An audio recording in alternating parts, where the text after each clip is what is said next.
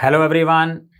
Today's mnemonic is related to a drug called as aducanumab. So first of all, what is aducanumab? It is a monoclonal antibody against A-beta amyloid and it is used for treatment of Alzheimer's disease.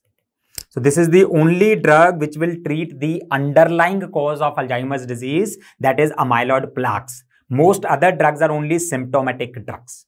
So how to remember this? Everything is written in the name. So the name says it is a monoclonal antibody. MAB is monoclonal antibody used for AD means Alzheimer's disease.